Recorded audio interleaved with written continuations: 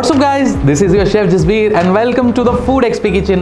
Today I am going to make a baked potato soup and this is from one of my favorite outlet Chili's and we are making Chili's baked potato soup at home. So if you want to know the full recipe, watch this video till the end.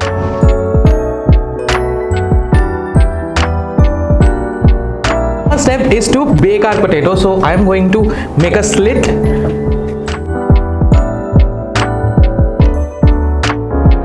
Now let's bake this.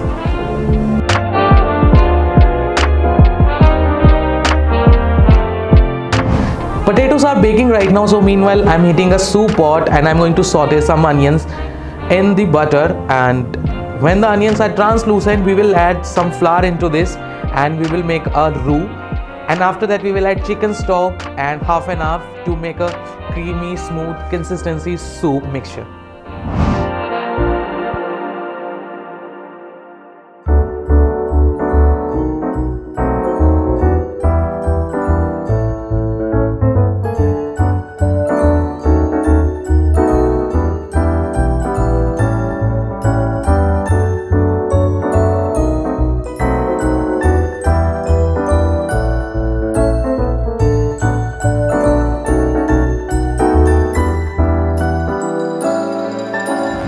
It's time to add instant mashed potatoes into this which give it some more creamy texture and let's mix this.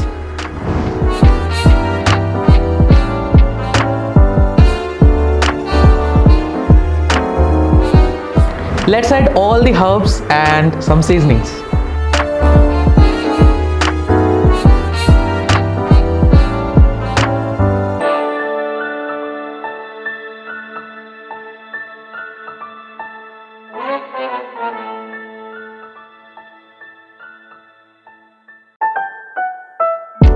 It's time to add our baked potatoes so i'm taking out that potatoes and we are finely chop them and we will add into this soup mixture. Let's bring them